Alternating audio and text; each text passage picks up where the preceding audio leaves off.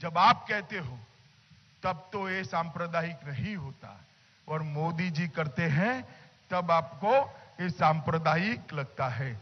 मित्रों, ये जो दोहरा मापदंड है कांग्रेस का, वो देश की जनता अब समझ गई है। मित्रों, जब सीए कानून लेकर आए, देश में इन लोगों ने एक भ्रामक प्रचार किया। देश की जनता को और विशेषकर माइनॉरिटी को गुमराह करने का काम किया और देश में दंगे फैलाने का काम किया। मैं आज इस ऐतिहासिक मैदान पर कहने आया हूँ, पहले तीन चार दिन जो दंगे हुए, इसका पूरा ज़िम्मेदारी और दोष एक कांग्रेस ममता एंड कंपनी का है। कांग्रेस पार्टी ने देश में दंगे कराए हैं। मित्रों, इसलिए भारतीय जनता पार्टी के कार्यकर्ताओं ने तय किया है, हम घर घर जाएँगे सच्चाई बताएँगे और देश की जनता को सीए के समर्थन में लामबंद कर कर मोदी जी के हाथ हम मज़बूत करेंगे। मित्रों, ये जो कांग्रेस पार्टी है, ये जो लालू प्रसाद यादव है, ये जो केजरीवाल जी है और ये ममता दीदी है, ऐसा नहीं है कि सिर्फ़ सीए का विरोध करें। मोदी जी ने आपके आशीर्वाद से 303 सीटें मिली, फिर से प्रधानमंत्री बने। पहले ही सत्र में 5 अगस्त को धारा 370 और 35 ए को उखाड़ कर फेंक देने का काम किया। मैं आज वैशाली की जनता को पूछने आया हूँ। आप चाहते हैं या नहीं चाहते हैं कि कश्मीर भारत माता का अभिन्न अंग बने? बताइए मुझे, चाहते हैं या नहीं मोदी जी ने 370 और 35 से हटाकर कश्मीर को हमेशा के लिए भारत के साथ जोड़ा और कश्मीर में हमारा तिरंगा शान के साथ आसमान को छू रहा है, वो मोदी जी के कारण छू रहा है। इसका भी इन्होंने विरोध किया। मित्रों, राम जन्मभूमि, अयोध्या में जहाँ मर्यादा पुरुषोत्तम प्रभु श्री राम का जन्म हुआ था, आप मुझे बताइए वहाँ मंदिर बनना चाहिए या नहीं बनना चाहिए? सुनाई नहीं पड़ता है भाई। जरा ज़ोर से बोलिए, अयोध्या में राम मंदिर बनना चाहिए या नहीं बनना चाहिए? एक कांग्रेस पार्टी, लालू प्रसाद, ममता केजरीवाल, सब राम मंदिर में आड़े आए थे।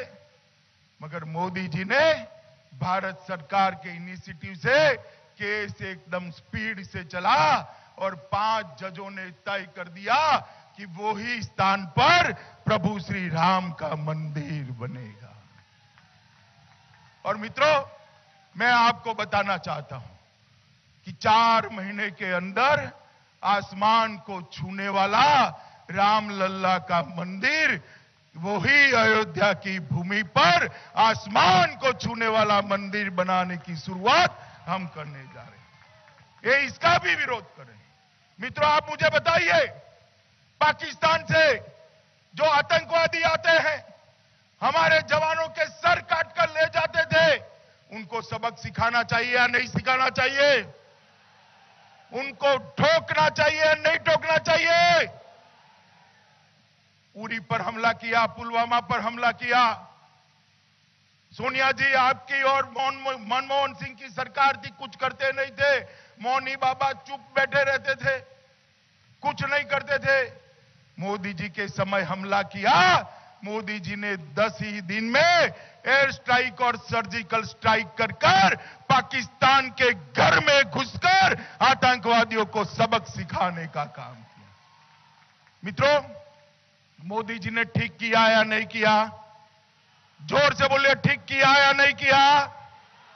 इसका भी एक Congress and Congress and company, Lalu Prasad Yadav and company विरोध करी है। वो कह रहे हैं, सबूत कहाँ है? सबूत कहाँ है? और इमरान खान भी कह रहे हैं, सबूत कहाँ है? ये सारे मुद्दों पर लालू प्रसाद, कांग्रेस, ममता, केजरीवाल, उनकी भाषा और पाकिस्तान के प्रधानमंत्री की भाषा एक ही दिखाई पड़ती है। बिहार वालों, मुझे तो मालूम ही नहीं पड़ता ये सबके बीच में रिश्ता क्या है, रिश्ता क्या है। देश के हित की कोई भी बात करो, इसका विरोध करते हैं। मित्रों अभी अभी जेएनयू में तीन साल पहले नारे लगे, भारत तेरे टुकड़े होंगे एक हज़ार। इनको सजा करनी चाहिए या नहीं करनी चाहिए, बोलिए। ज़ोर से बोलिए, करनी चाहिए या नहीं करनी चाहिए। माताओं, बहनों मोदी जी ने उनको जेल में डाला। आज केजरीवाल उन पर केस चलाने की अनुशंसा नहीं देते।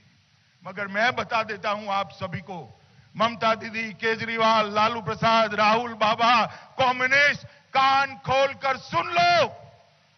ये नरेंद्र मोदी सरकार है।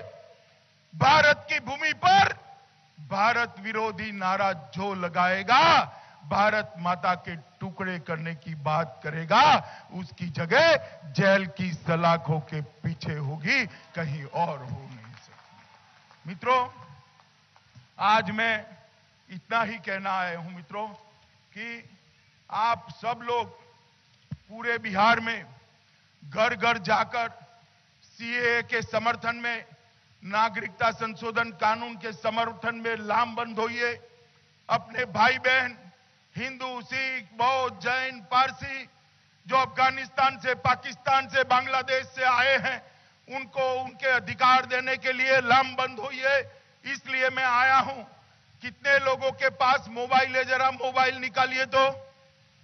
जरा ज़ोर से अपने पॉकेट से मोबाइल निकालिए। कितने लोगों के पास है? सब लोग निकाले जरा। हाथ ऊपर करो। है ना सबके पास? है ना? मोदी जी का समर्थन करना चाहते हैं ना? तो मैं एक नंबर बोलता हूँ डायल करोगे? पक्का करोगे? तो मैं एक नंबर बोलता हूँ डायल डायल मोड पर ले लीजिए मोबाइल को। डायल मोड पर ले लीजिए, आंकड़े निकाल लीजिए। मैं ज़ोर से नंबर बोलता हूँ। आठ आठ छ छ दो, आठ आठ छ छ दो अब डायल कर दीजिए कितने लोगों ने करा हाथ ऊपर करिए? मैं बिहार की जनता को भी कहना चाहता हूँ, इस नंबर को डायल कर कर मोदी जी का आप समर्थन करिए। मित्रों, कुछ लोग अफवाह फैलाना चाहते हैं कि बिहार के अंदर अगला चुनाव कैसे होगा। मैं आज सारी अफवाहों का निरसन करने आया हूँ। बिहार के अंदर अगला चुनाव नीतीश जी के नेतृत्व में एनडीए लड़ेगा। भाजपा और जदयू दोनों एक साथ लड़ने वाले ये जो लालू प्रसाद यादव को जेल में रहकर स्वप्न आते हैं फिर से मुख्यमंत्री बनने के, उनको मैं कहना चाहता हूँ कि भाजपा जदयू का गठबंधन अटूट है। इसमें कोई सेंधमारी आप नहीं कर पाओगे। लालू प्रसाद जी, आपका शासन था। आपका शासन था। तीन प्रतिशत की दर से बिहार विकास कर रहा था। इतने सालों से 2005 से 2020 तक 11 प्रतिशत की दर से विकास किया है। प्रति व्यक्ति आय पॉइंट बारह प्रतिशत थी। आज चार प्रतिशत हो गई है। कृषि विकास दर 21 प्रतिशत तक पहुँचा है। बिजली शत प्रतिशत घरों में पहुँची है और सड़क तिरानवे प्रतिशत गाँवों में पहुँची है। आप